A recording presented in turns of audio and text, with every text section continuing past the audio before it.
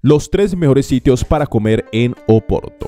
Europa tiene muchas ciudades encantadoras, pero no cabe duda de que Oporto es una de ellas. Sus calles, sus casas, sus parques y demás atractivos turísticos hacen de ella un lugar perfecto para vacacionar. Y si hay buena comida, mucho mejor.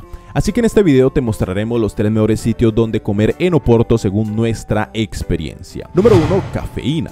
Desde hace un tiempo este local se ha mantenido en boga gracias a su buena comida y acogedor ambiente. Si quieres ir a este restaurante deberás realizar una reservación con bastante tiempo de antelación ya que es bastante difícil conseguir una mesa, siempre se encuentra lleno. El local se encuentra en una de las mejores zonas de la ciudad de Foz do Douro donde desemboca el río. La comida también es muy buena y tiene una carta bastante amplia que ofrece platillos de gran preparación. Uno de los favoritos de la casa es el solomillo Wellington y encontrarás muchos otros platillos que disfrutarás muchísimo. Número 2. Elemento. Esta es una propuesta de restaurante que utiliza únicamente leña para cocinar sus platillos, bien sea en el horno o para asar carnes. Es por ello que su nombre es Elemento, ya que el fuego es el principal ingrediente para sus platillos.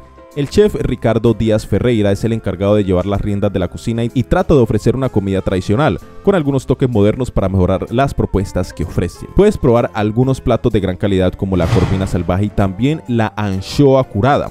Además, el mismo cuenta con un menú de degustación que te permite disfrutar de algunos de los mejores platillos del lugar. Número 3. Majestic Café.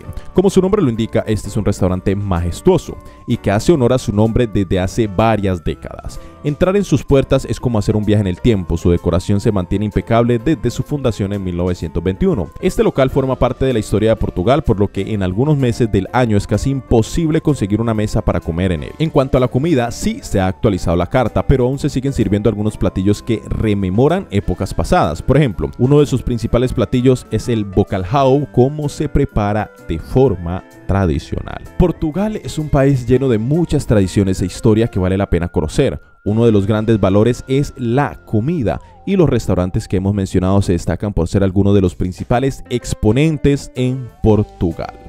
Así llegamos al final de nuestro video.